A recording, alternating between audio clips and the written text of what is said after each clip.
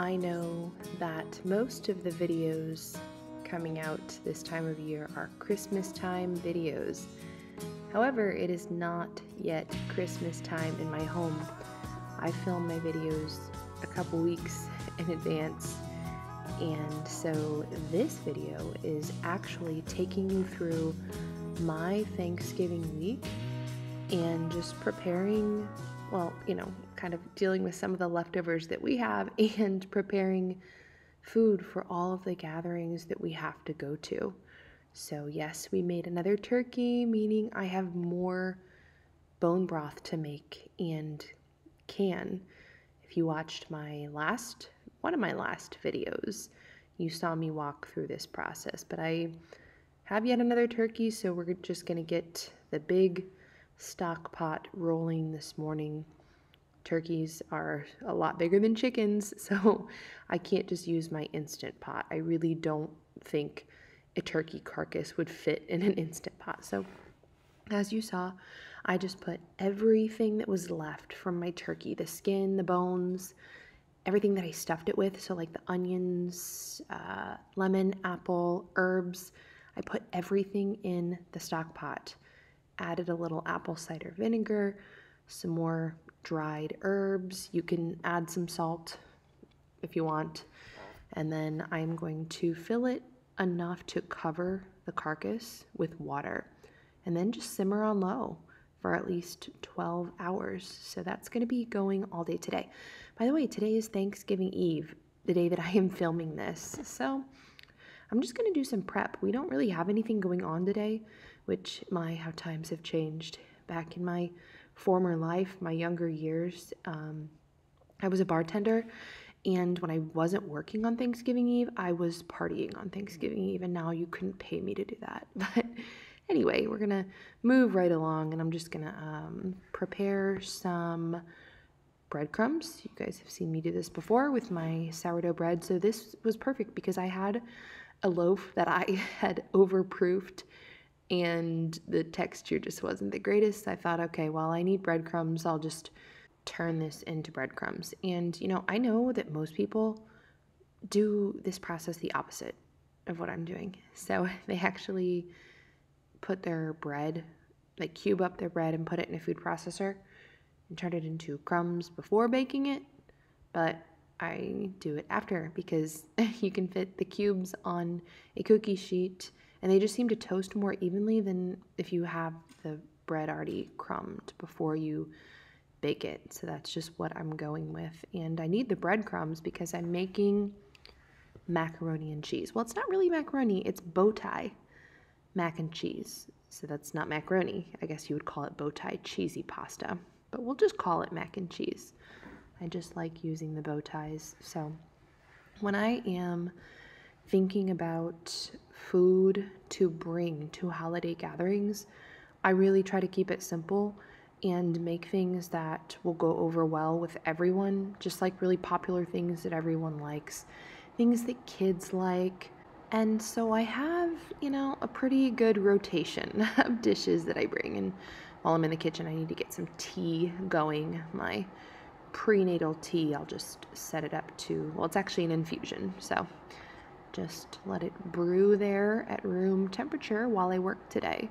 So this Thanksgiving Eve is just just prep work, which will make my life a lot more peaceful tomorrow on the holiday and with all of the events coming up. So we've got stuff going on Thursday, Friday, and Saturday. Yeah, Thursday, Friday, and Saturday we have family gatherings. And you know, I know people get very passionate about uh, not overdoing it on holidays, but I don't know. I kind of like it. I like having stuff to do, getting together with family. When I was a kid, that was just one of my favorite things is all the family gatherings and we faithfully went to all of them and I loved it. I know it's not always fun for the parents, but I think since we homeschool and we opt out of a lot of the rat race stuff, I'm just not spent and exhausted when holidays and weekends roll around.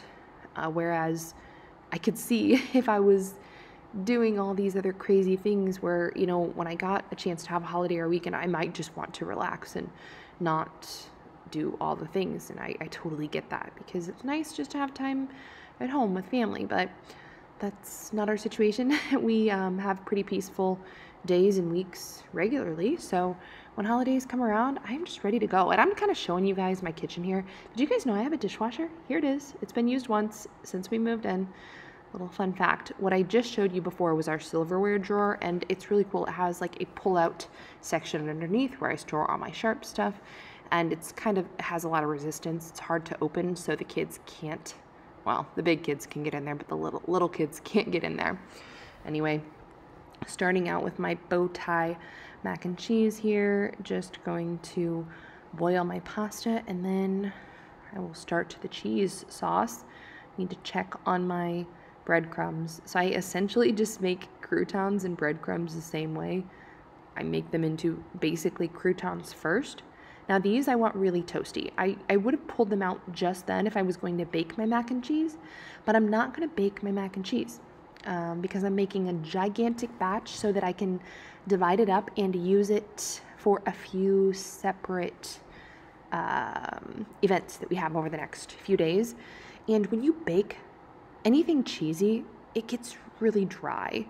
You have to add lots of extra cheese sauce, and then it, it just does. It just gets dry when you bake it. So I'm not going to bake this mac and cheese. So, long story as to why the sourdough breadcrumbs are going to stay in the oven a little bit longer so they're nice and crisp and toasty. All right, just gonna drain my pasta. Got my little helper sitting here. And yes, I know that many of you do not like to let your children sit on the counters, but um, it is what it is. He really likes being up here. All my kids have loved being right by me in the kitchen and you know so if i'm if i'm within arm's reach then i will usually let them sit on the counter so we are going to keep rolling here with prep i've got some really big potatoes that I did not grow in my garden because I can never grow potatoes this big. I don't know, they probably spray some kind of crazy stuff on there to get them that size. But that's okay because I'm making twice baked potatoes and I just want them to be very extra and humongous. So I'm just gonna bake them first, obviously. Twice baked potatoes, you gotta do the first baking. Um, when I bake my potatoes, I bake them at 400. I just drizzle them in some olive oil, salt and pepper. That's it. And then I just bake them until they're fork tender. So it depends on the size, really, as far as how long you're going to bake them. All right, my breadcrumbs are done, or my, you know, croutons that I'll crush up into breadcrumbs. Breadcrumbs, they're finished. They're nice and toasty, just how I want them. The potatoes will now go in. When I'm doing a prep day like this, I try to keep things going so that I don't have an oven preheated that's empty. You know, I just can keep, I, I plan in my head that way things can go in and out of the oven. And I'm, I still only have one working oven. So the oven that you see here is still broken. And I'm telling you, it is the millennial in me. I have not made the phone call yet for the repairman to comment. Why I have anxiety about these small tasks, I really don't know. Okay, what I'm doing here is I'm making a roux, so it's just butter and flour, and that is gonna be the base of my cheese sauce. This is how I make all my cheese sauces, and um, this is how I make my mac and cheese all the time. I never measure, so I have my little mom's recipe book there because I have to write it down for you guys because I, I want to put this on my blog. So I am writing the recipe down today, but essentially it's a one to one to one as far as uh, butter, flour, and milk. So one, let's see, one tablespoon of butter to one tablespoon of flour to one cup of milk. That's the ratio that I do. So, you know, for like one single batch, I would do four tablespoons of butter or four tablespoons, which four tablespoons is a quarter cup, quarter cup of flour, and then a cup or I'm sorry, a quart of milk. Sorry if that's hard to follow, but the recipe's in the description as always. Anyway, that's how I cook. I just cook in ratios, and then that way I can, I don't necessarily have to double or triple my recipes, I can just increase by the ratio that I'm using, if that makes sense, so that I can make whatever, whatever serving size that I need to. So I am making this giant batch of mac and cheese. I am going to have to switch everything into a larger Dutch oven. My, um, well, my extra large one, it's going to have to go into because my large one just wasn't enough. Now, while I am prepping all of this food, none of this food that I'm prepping is going to be eaten today. Like I said, this is just prep. That way, our holiday is not stressful, but we still have to eat today. So I need to think about supper. And I'm just going to make something that has become a go to in my house. It is a favorite, and it is instant deep dish cast iron pizza. Except I'm not using cast iron skillets today. But it's still the same recipe and it's not really a recipe at all. That's what you saw me mixing up over in that bowl over there. I just put some water in a bowl with some instant yeast, a little bit of sugar, and flour until I have a very almost liquidy Dough. you couldn't even call it a dough really like you would not believe this is pizza dough because it is so hydrated it's almost like a really thick pancake batter and then i let it rise up until it's doubled put it in my pizza pans. You guys will see how I do it. But anyway, back to the cheese sauce here. So I have, let's see, garlic powder, onion powder, salt, pepper. Those are the main seasonings in my cheese sauce. And then the secret one is a little dash of nutmeg, just a little bit, not too much. Anything with a cheese sauce, I think a little dash of nutmeg is is just, you know, that's just the pizzazz that it needs. So, like scalloped potatoes, any casserole, mac and cheese, I always add a little dash of nutmeg. Now, I am pouring my cheese sauce, which you saw me add the cheese earlier. I used um, white cheddar. I'm really a big fan of white cheddar. It's my favorite cheese for mac and cheese. So that is what I use, but use your favorite cheese. So I poured my cheese sauce into my macaroni and you saw it almost looked kind of soupy, but the pasta will absorb a lot of that sauce. So now I'm just using my Vitamix to blend up my breadcrumbs. Yes, that's a bunch of candy but that you see behind there, and you'll see why that candy is out. Maybe tomorrow I'll get to that. There's a reason why it's out. All right, so this pizza dough that I'm spreading sauce on now, see how fluffy? It's it's like um my kids call it cloud pizza because it's just so fluffy. But anyway, I usually use cast iron and I preheat my cast iron skillets so they're like piping hot.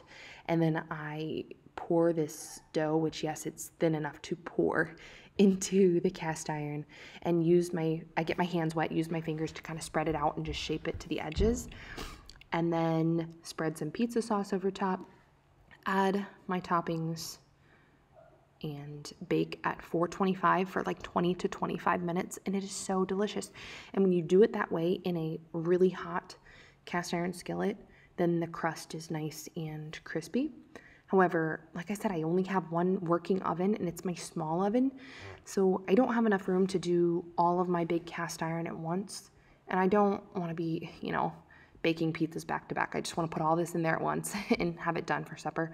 So i just improvised and used some other um, pans, but the crust wasn't as crispy, so I probably won't. This is the first time I've done this. I used cake pans and a jelly roll pan.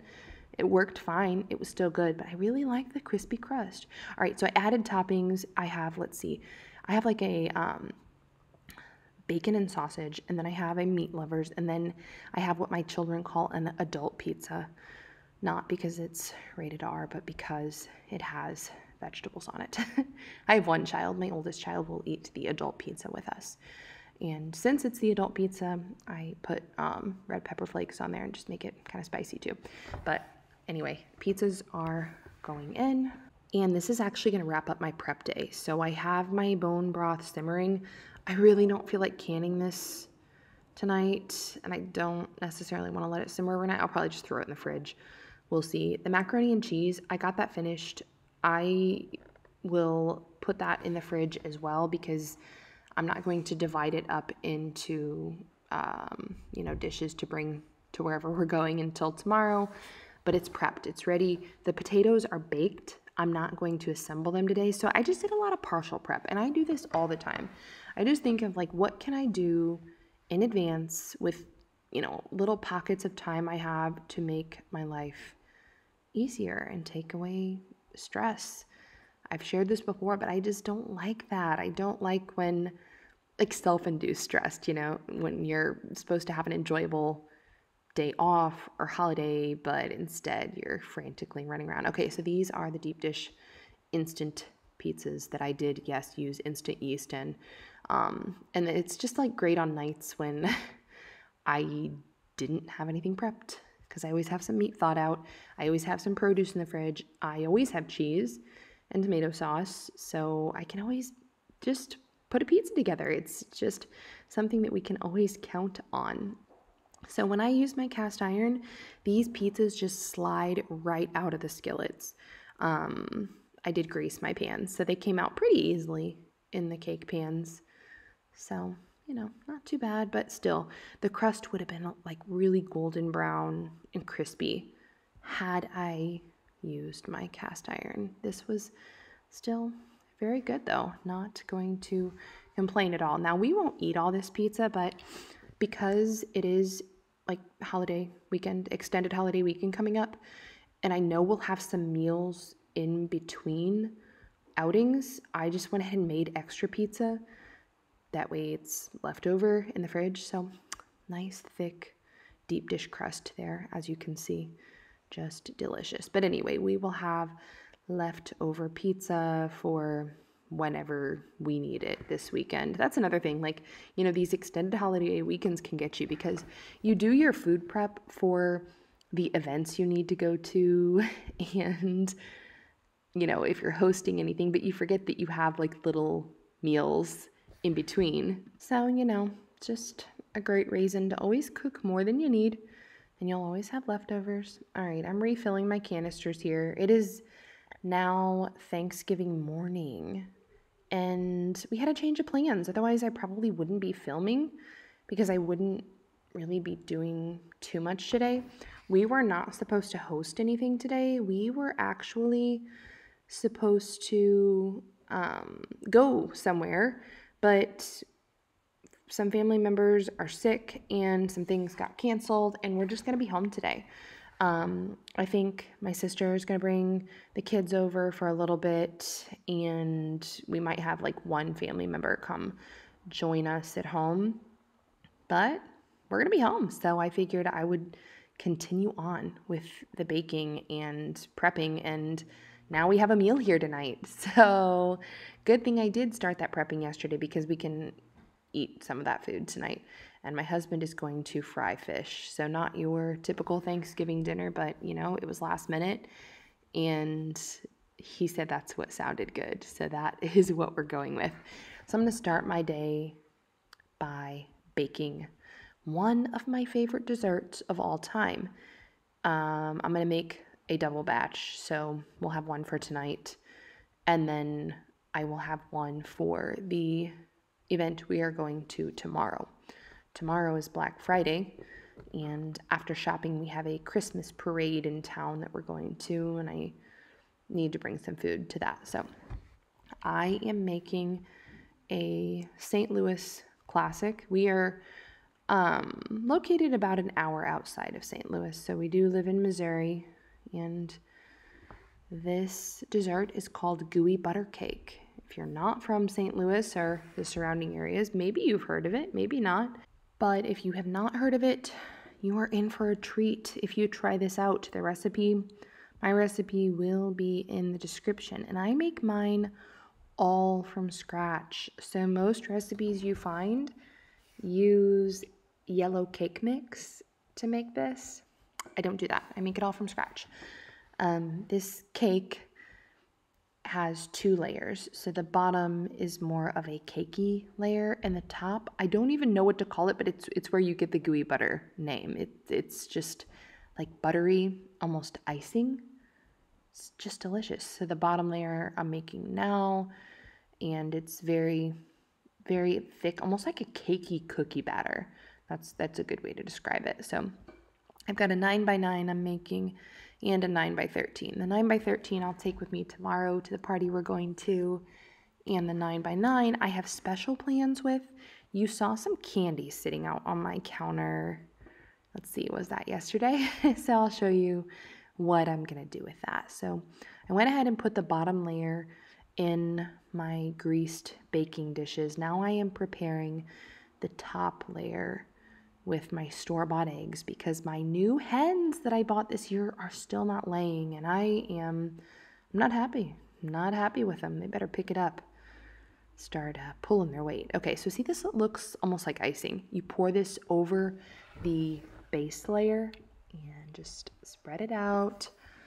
Oh man, so delicious.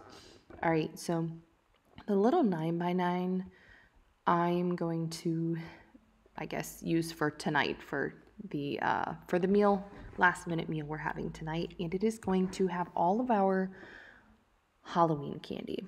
This has become a tradition. I you know, we do sometimes go trick or treating. Some years we have like a bonfire and a hayride. This year we did go trick or treating. It was really cold, but the kids wanted to go, so we did it. Now, I let them eat some candy on Halloween night, but then I do cut them off. And what I make them do is get rid of all the like gummy, sweet, hard candy stuff and just save the chocolate stuff. And I always make this with the leftover Halloween candy. So anything chocolatey, like Reese's, Butterfinger, Twix, Hershey's, M&Ms, anything like that gets cut up and added to the top layer of a gooey butter cake and baked, and it is fabulous. This is one of my husband's favorite things. Like he looks forward to this every year. So both of these gooey butter cakes are going to go in the oven. The bigger one will probably take a few minutes longer. They take about 40 minutes at 350 um, you really do not want to over bake a gooey butter cake. You want you don't want the center to be set when you take it out. You want it to still be jiggly because over time, when you let it set out and cool to room temp, which you want to do before you serve it, it will set up. So while the while that's baking, I'm gonna move on to assembling my twice baked potatoes. Originally, I was going to bring these to where we were going tonight but we will just have them here and then I will have lots left over, which is not a bad thing. So just scooping out my potatoes here. I always use russet potatoes. In my opinion, they're just the best for this job. So now I need to make my filling. I have all of the potatoes that I scooped out, and I'm talking to my sister. She got here with her kids. So she and I are just chatting away as I cook here. I added some butter, some cream cheese, and cream. And going to mix that up really well. And my small candy, gooey, Halloween candy, gooey butter cake is finished. So I'll go ahead and take that out and let that cool. I want that to have plenty of time to cool before we eat tonight.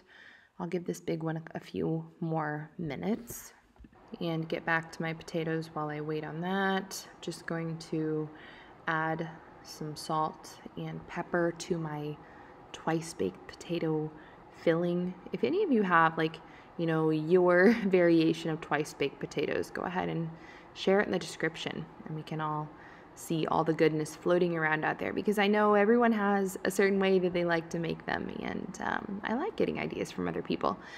All right, so I need to heat up the mac and cheese. The toasted breadcrumbs that I made the other day, went ahead and topped it with those. And I turned my oven down to 200 because, like I said, I don't really want to bake my mac and cheese. I don't want it to dry out. I just want to heat it up. So I set it out at room temp for a while and then I just stuck it in the oven on very low. You can bake this mac and cheese recipe but just keep an eye on it. you don't want it to end up dry.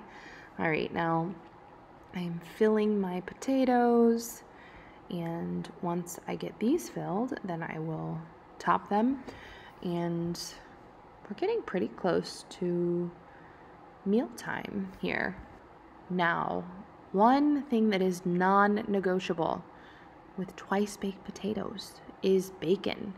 you have to have bacon, right? Does anyone make twice baked potatoes without bacon? I don't know. Maybe some people do, but I use a lot of bacon because we have a lot of bacon. You know, we raise our own pork. Sometimes we process our own depending on the time of year and how busy my husband is. If he's busy, then he takes it somewhere to have it processed. If he's not, then he does it. But anyway, we got a lot of bacon. All right, these are my gooey butter cakes. So you want to top them with a light dusting of powdered sugar as if there wasn't already enough sugar.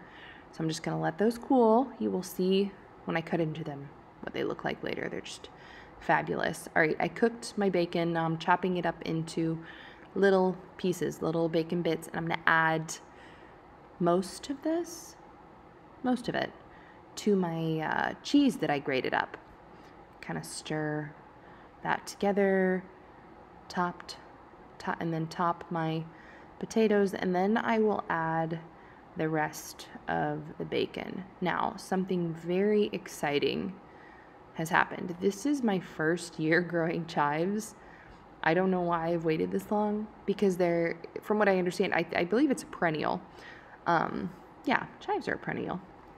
But I didn't know that they were frost hardy. So we had our first frost oh, a month ago. I think it's been about a month. But several of my herbs are still going strong, and I knew some were frost hardy. I just didn't know chives were. So I was very excited when I went out and I saw that they were still alive, and I had some for my twice baked potatoes. So I'm gonna plate up my two items that I contributed to the meal the mac and cheese and the potatoes. So very light on carbs, obviously. And then we will have our fried fish as well. It was a really good meal. Like I said, just not a typical Thanksgiving meal, but when plans change last minute, it is what it is, you know? You just do what you got to do. So we're fast forwarding to the next morning. It is now Black Friday morning, and my little guy has found the light switches. So that's very neat. Um, you know, I've been out of this season of toddlerhood and you just kind of forget those little things, but they're very cute and sweet. Now, I just did something very dumb and picked up that heavy stock pot and wasn't very careful and got my dress and my apron soaked in bone broth, but that's okay. So I had to end up um, refrigerating this broth because I wasn't ready to can it the other night, and then I just pulled it back out, reheated it, and now I actually have time to can it before I head out for my shopping for the day. So I'm just doing pints this time because I, you know, I'm actually not, I'm a few months out from having the baby. So it'll be here before I know it. It's just flying by this time. And bone broth is something that I consume a lot of in my postpartum period. So, you know, the first 40 days especially. I twice, two out of four times, I've gotten severe postpartum thyroiditis, and I, I, I just don't know. You know, I, I've done everything. It's very frustrating for me, like incredibly frustrating, because it doesn't. There's no rhyme or reason. It was my first and my fourth pregnancy, not my second and third. It's been very difficult for me to figure out, for specialists to figure out, and I, at this point, all I can do is just pray I'm being proactive. You know, I'm very active and I can just pray that it doesn't happen because it's pretty severe. Um, but anyway, so I have to be cautious with my diet postpartum. So, yeah, bone broth is on the menu a lot because it's very easy to di- digest. So, I just loaded up one of my canners, uh, double decked it. So, I've got 20 pints in there, and then I had some that I'll just put in this gallon jar and put in the fridge. And I will just drink that bone broth throughout the week because I love bone broth. Like I said, it's nutritious, it's good for you, easy to digest. Um, so while that's canning, I've we have a parade we're going to tonight, and I need to bring some food. So I'm gonna dip into my prepped food that I had and kind of re um, plate it, so to say and then I'll be good to go for tonight. So I made so much mac and cheese. I knew I would have enough for at least like two to three events. And I just added some more breadcrumbs on top.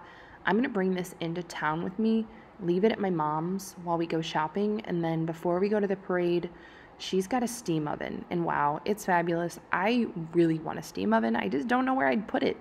I potentially have a space um, where our microwave is.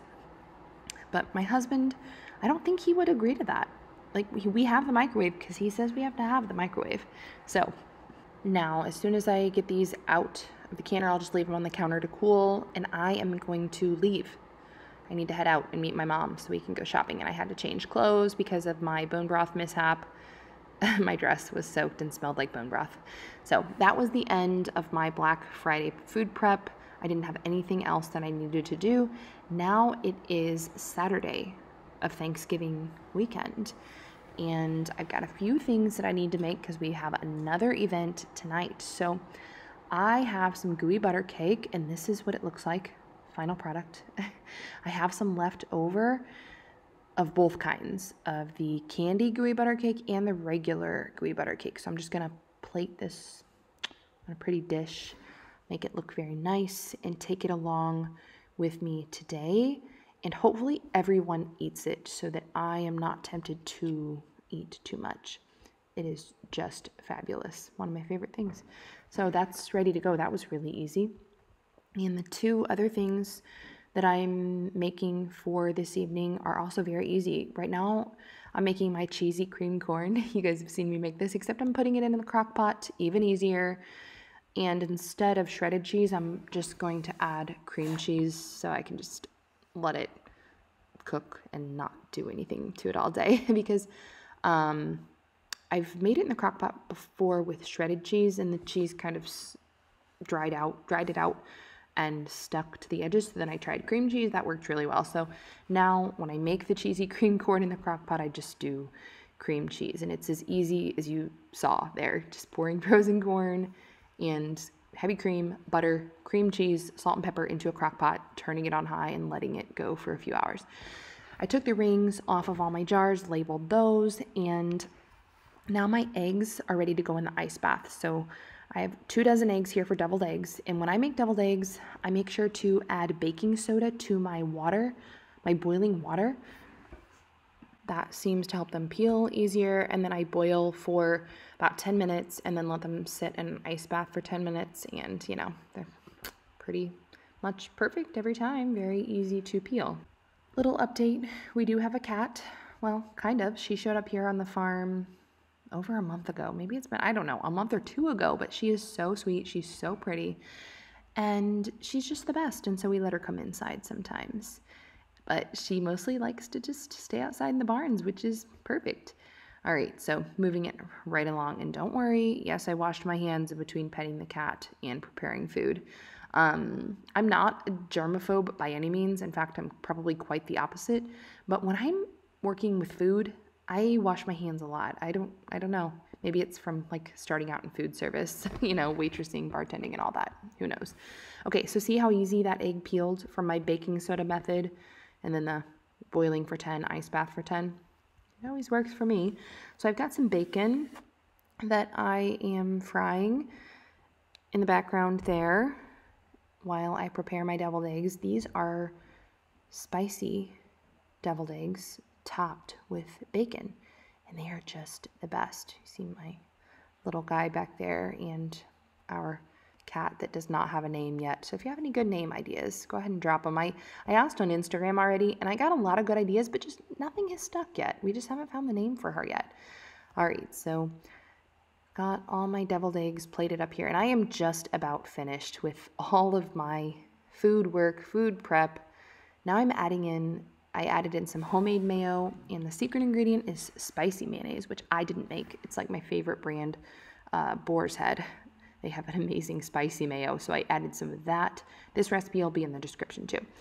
Cut up my bacon, and I'm going to put all of this together, and we are going to be out the door. And that is going to be it for this video. You guys got to come along with me and just kind of, you know, spend time in the kitchen along with my workflow as I prepare for a busy weekend and try to always stay just like one step ahead so that it is mostly stress free. Now, if you noticed on my countertop, there were a lot of groceries. That is because on Black Friday, we didn't actually do any gift shopping. My mom and I just went to Costco. We made a Costco run and had a fun day. And I will film putting all of that away and organizing all that and just kind of show you what I got on my Costco run. So that will be on next week's video. And don't worry, yes, we will get to Christmas content, but you know, winter doesn't officially start until December 21st, and um, I'm just going to embrace the upcoming Advent season because Christmas will be here before we know it.